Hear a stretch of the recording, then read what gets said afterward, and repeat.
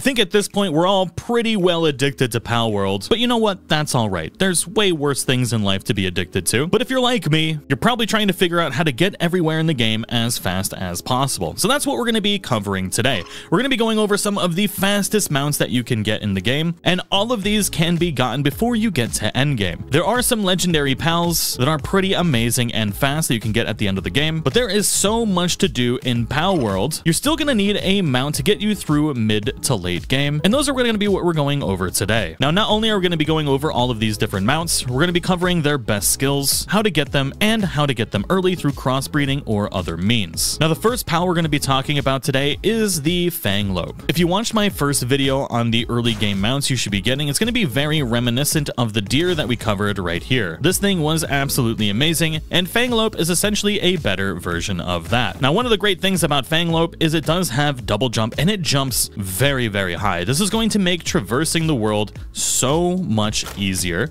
And if you don't like how slow some of the flying mounts are in the game and you just want to be able to run everywhere as quick as possible, the Fanglope is definitely going to be the one for you. Like we can climb freaking mountains. Not only do we have that, but we have the Cloud Tempest ability, which is a massive charge forward, which allows us to travel great distances in one click. And honestly, the timer on it isn't too bad either. And the speed burst that you get for it is phenomenal. There's a couple different things that you can do during this Cloud Tempest. You'll notice as we sprint, we are losing our stamina, but if we use Cloud Tempest and we let go of Shift, we can regen stamina while we're going. But when you let go of Shift during Cloud Tempest, you're not going to move as far as if you actually keep Shift held down. You can compare the distance like this, so if we click and let go of Shift, we're only going to make it to about this tree right here. Now, if we hold shift and use Cloud Tempest, we're going to get substantially farther. So it's really your choice if you want to hold shift while using it or let go of it to rejuvenate stamina. I guess it's really going to depend on where your stamina bar is. Now, there are a couple different ways to be able to get the Fanglope. If you want the boss version, it is available here, which is just west of the Ascetic Falls. The starting point here is Plateau of Beginnings, and you can kind of just head west across here. It is a level 25 boss fight. The habitat for catching a lot of them is a little bit more complicated. They're kind of in a rough place to be. You need heat resistance, there's high level pals there, or you can go to the sanctuary at the top right. They are available in both of these locations day or night, but there's also a couple different ways that you can get this much, much sooner. Now, if many of you followed my previous guide, you've probably already been using the Eikthyrdeer, the deer boy, and you might already have great stats on here if you spend some time breeding. Now, if you take your deer and you throw a Robinquill in there, they're going to actually be able to make a fanglope. And if you're feeling really crazy, you can use the monitoring stand and put them to super hard working, and you can make them breed faster. Look, the video is about trying to get things done faster, right?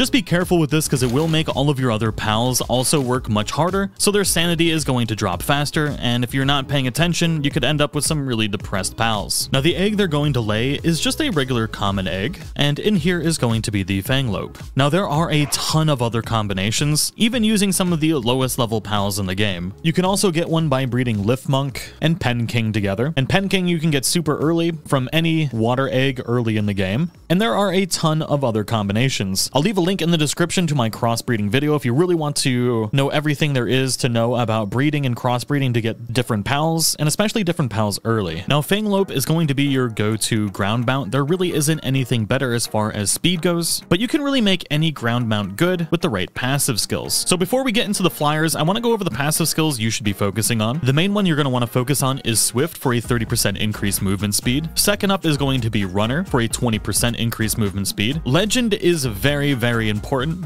Once you get to endgame, you can tame legendaries and you can pass the legend trait down from a legendary to your favorite pal. So if you want to make something even faster, you're definitely going to want to get the legend trait on there. You also get an attack and defense plus 20%. Now, if you want to go super crazy to stack movement speed, you can also add nimble, which is a 10% increase. There are four legendaries in the game. They're all level 50 boss battles. Now let's talk about the top three flying mounts that you're going to want to be looking for for your mid to late game playthrough.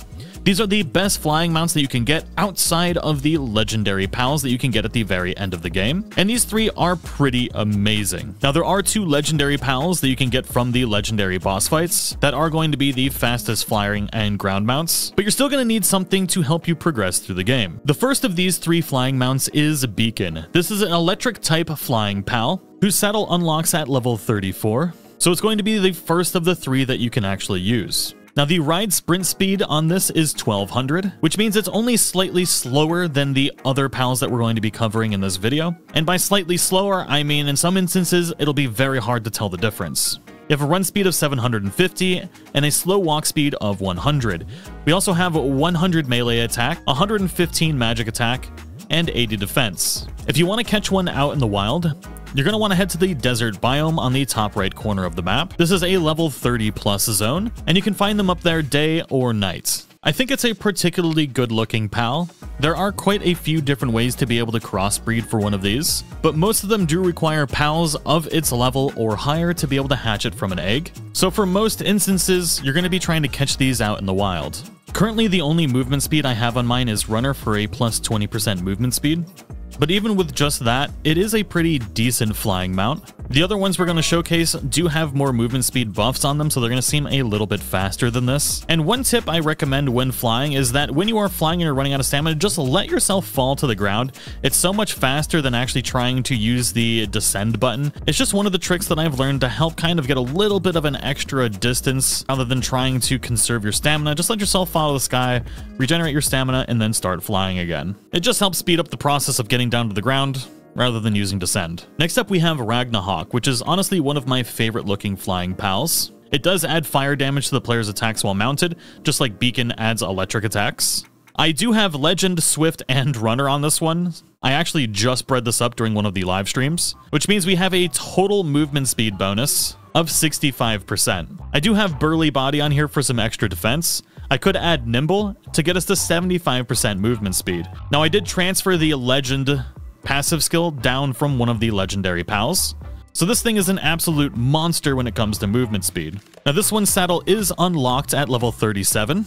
If we check out Ragnahawk's stats, we can see it has slightly higher ride sprint speed at 1300, which is a 100 more than Beakon's.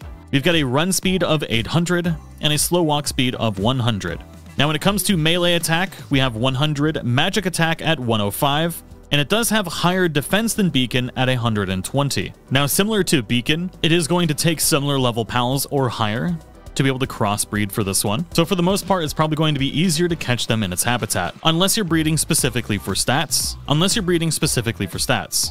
Now, Ragnahawk's habitat is in the southwest corner in the lava mountain biome, and you can find them there both day and night. This is actually my first time getting to ride this freshly hatched version, and my god, is this thing amazingly fast. It's one of my favorite flying mounts, so this is actually really, really exciting. Because of the stats that I have on here currently, this is faster than everything I have except for one legendary pal, which quite frankly, I don't like using that much anyways. But realistically, as long as you get good passive skills on a pal, you can make anyone in the game viable, so really it's all about your personal preference and just have fun with the game. Now last but certainly not least is a pal you can breed for early, although you can't get the saddle until higher level than the other two. It is the fastest of the three, and it's also pretty awesome looking.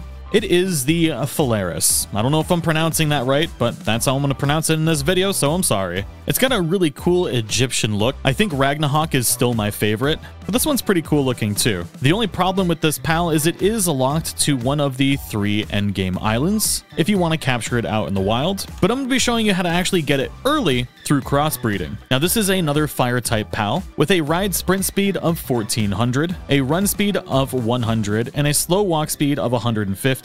Now its melee attack is at 100, its HP is at 100, magic attack at 105, and defense at 110. So this is naturally the fastest of the three flying mounts that we're going over today. Unfortunately, when I look at it from this direction, all I can see is a Thanksgiving turkey, and I really don't know how I feel about that now. It's definitely much better to look at it this way. But as you can see, it is a pretty fast pal, and that's not even fully upgraded with good passive skills. Now to get Faleris early, you can take a Vanwyrm, and you can breed it with an Anubis. Now I know what you're thinking. Tag, an Anubis is a level 47 boss. How am I supposed to get that? Oh, I got you. You're gonna get it real easy without even having to fight it. So this is an extra little bonus. This is actually the best pal that you can have in your base for handiwork. This is going to help you craft everything incredibly fast to get a little bit of a bonus in this video. Now to be able to breed for an Anubis, all you need is one of these beautiful penguins Penking, which you can get from any damp egg in the entry area of the game. You can tame them down here on this island. You can also get it from the Penking boss, which is just the northwest of the starting area right here.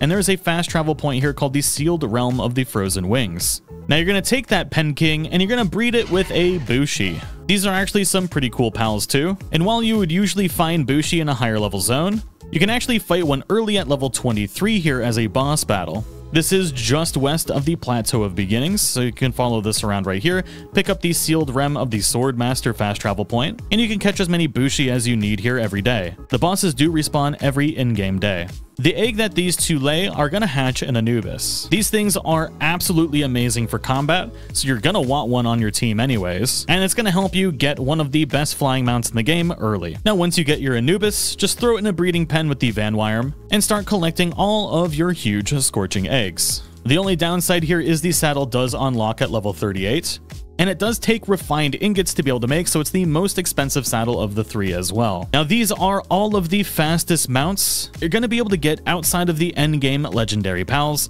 Let me know what you think in the comments below, and I'll see you all in the next one.